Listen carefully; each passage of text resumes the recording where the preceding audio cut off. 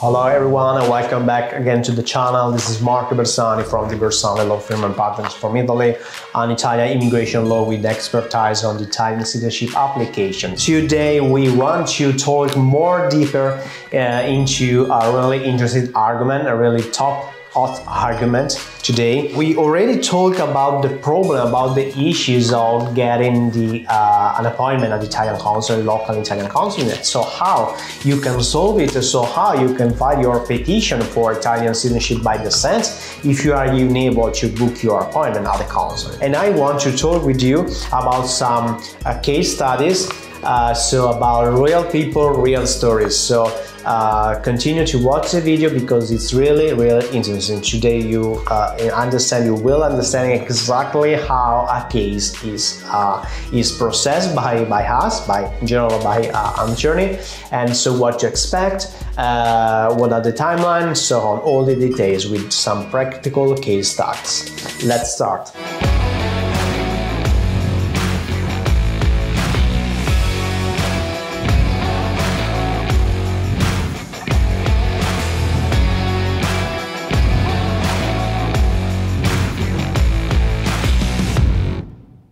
These are two cases that we processed very recently because they are uh, one is from uh, was decided in September and one was decided on this October so they are really really fresh cases. There are one case from London so from the UK and one from the United States from San Francisco. So many times people uh, ask to us you talk about the United States but what the other countries? Well that's right, that's a good question. So we want to also talk a little bit with other cases for the same issues but for other countries. Do not mm, forget to subscribe to the channel because maybe many, the other time we will talk about the South America, Australia, Canada. So all countries there there is the same issues as from the US and from UK. The first case was processed by a client's family uh, so more clients from uh, London, so from the UK, United Kingdom.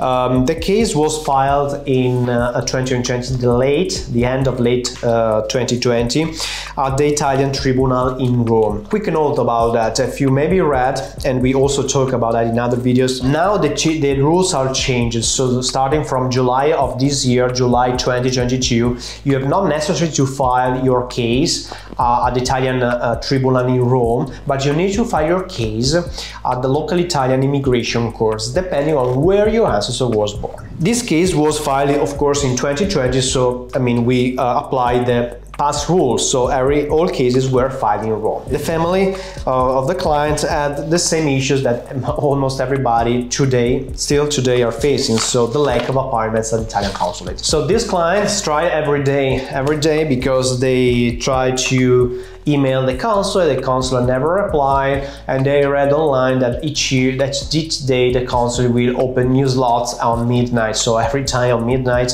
uh, they try to connect on the website, but there are no spots available. So you may understand for sure, because I, I'm pretty sure that you are facing the same issues, you may understand the frustration to spend month and month and months every day, every day to try. And so there are no appointments. So first of all, before talking about the lack of appointments, the issue of taking an appointment at the consulate, we have to uh, file the case together with all the documents. So all the vital records proving that you have a start Italian ancestor and the right of citizenship is passed through all generation until you as a main applicant, as an appellant. When it comes to the, uh, the petition, what is really important is to describe the case and explain the judge why you are uh, claiming your Italian citizenship. So what are the documents proving your right uh, of having Italian citizenship for you and for your family members, of course. After that, when you file the petition, you need to describe, you need to explain to the court why you are at the court and you are not at the consulate because the court will say to you, okay, I understand that you have the right of citizenship, but why you are here?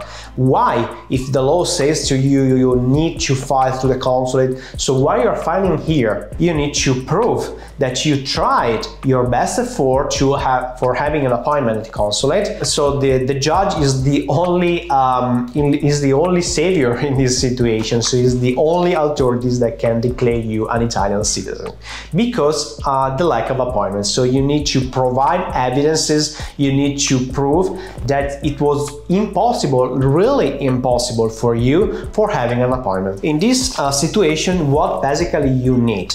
We need to uh, prove that at the court by, uh, for example, deposit some emails that you sent to the consulate where you ask the consulate, you complained with the consulate about the lack of appointments, asking the consulate to uh, make something. So please help me make set my appointment manually because it's impossible to do that through the online website called Prenotami. That is the only way to book your consular appointment. It's important to collect all the evidence evidences, so what in concrete you see on the portal. We need that the judge will check what you what you saw at the time, because of course the judge won't connect on the website for checking, and so you need to provide like the, the video shot or screenshot of what you see. So the generally 99% of cases, when you try to book your appointment and that is not possible, there is a pop-up notification says there are no appointment available without telling you when will be the first spot. So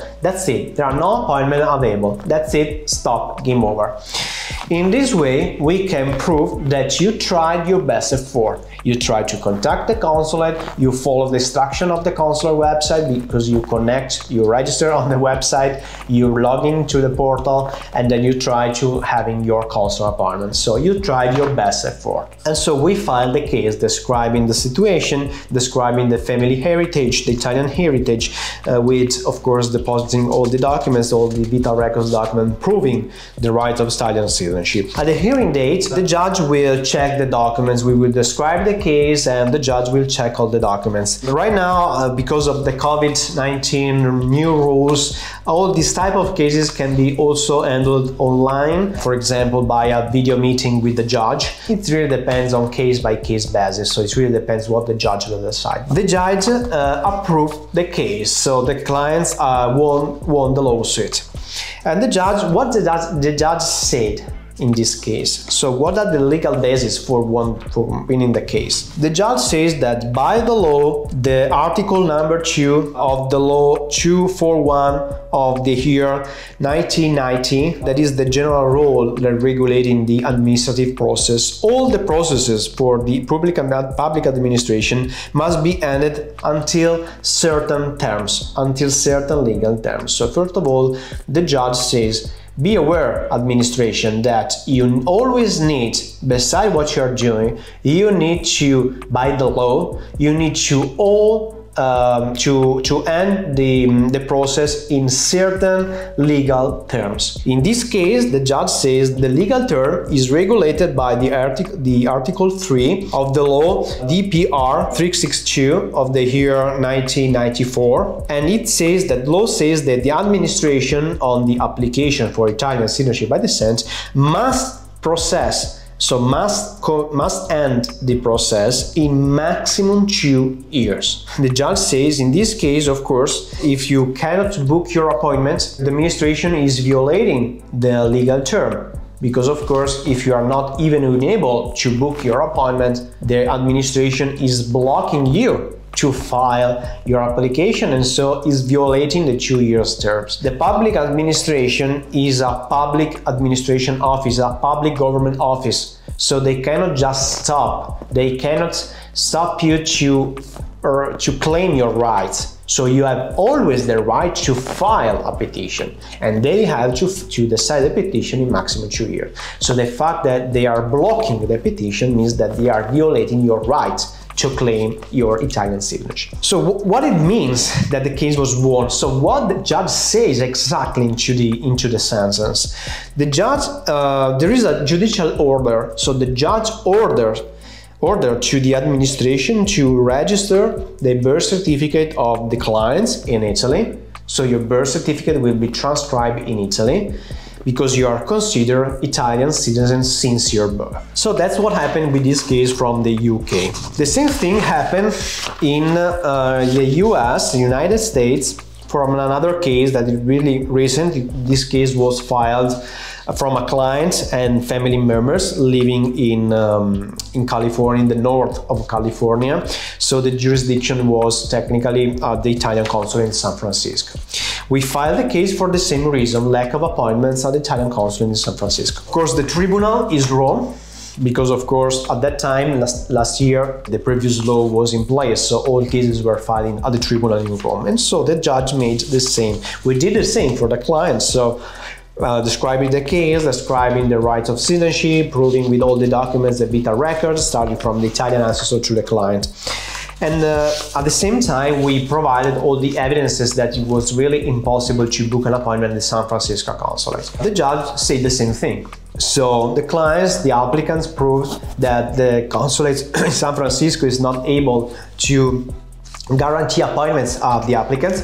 And so um, it goes also recalling the, the law the article 3 of the law of the of the year 1994 uh, the consulate is violating the legal term of two years for processing and deciding, hopefully approving a case. If you are still facing, like it is, for example, in the US, so if you're still facing these issues, so it's month that you're trying to book your appointments. I understand your frustration, we understand your frustration because the team receive every day questions, emails about this type of issues. But in this case, uh, be positive because there are solutions. The course in Italy knows about the problem, knows about the issues, and they know how they can solve it. So do not hesitate to contact us if you are facing this issue uh, because we can solve it. We can represent you, we can represent all your family members too.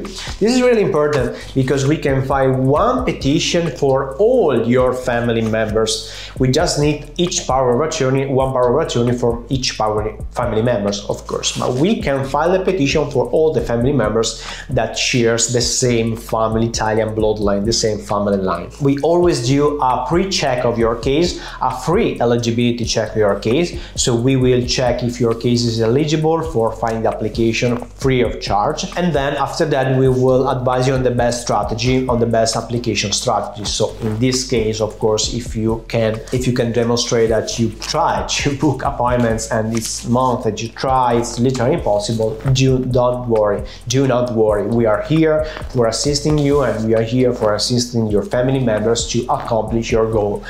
Uh, we can claim your Italian citizenship by descent through an Italian immigration court. Again, as always, if you have questions, if you have comments, you can leave a comment here also on YouTube channel uh, here on, under, under this video.